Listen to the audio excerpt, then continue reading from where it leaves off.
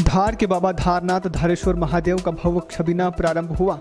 बाबा प्रजा का हाल जानने के लिए निकले। छबिने का आयोजन प्रतिवर्षानुसार हुआ। पूर्व केंद्रीय मंत्री विक्रम वर्मा, धार विधायक नीना वर्मा, सांसद सावित्री ठाकुर, धार कलेक्टर दीपक सिंह, धार एसपी वीरेंद्र कुमार सिंह सहित जनप्रतिनिधियों के द्वारा बाबा के पूजा अर्चना की गई, जिसके बाद स्वयंभू भगवान जनता का हाल जानने के लिए नगर भ्रमण पर निकले।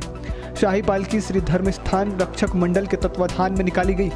माझी समाज के युवाओं के द्वारा नंगे पैर पर बाबा धारेश्वर की पालकी को उठाया गया। जगह जगह पर बाबा की पूजा अर्चना की गई।